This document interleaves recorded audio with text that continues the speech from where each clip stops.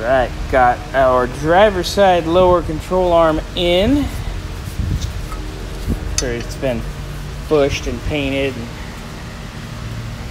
It's kind of a bear putting these together. You got to make sure you have your brackets in the right spot and the right way. So you got to kind of play bracket Tetris, get them started on the other side, and then run your bolts in, get everything kind of started. Then these bolts thread on this collar here in first, and then you put a nut on them to tighten it. I don't have it cranked all the way down, so it's gonna be easier to slide the spring in. Got our spring, spring rubbers, ready to go. Our lowers and our uppers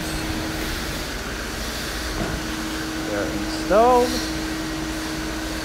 Uppers are on there just loosely, but they are on. Get ready to assemble the kingpins and the spindles and all that next week.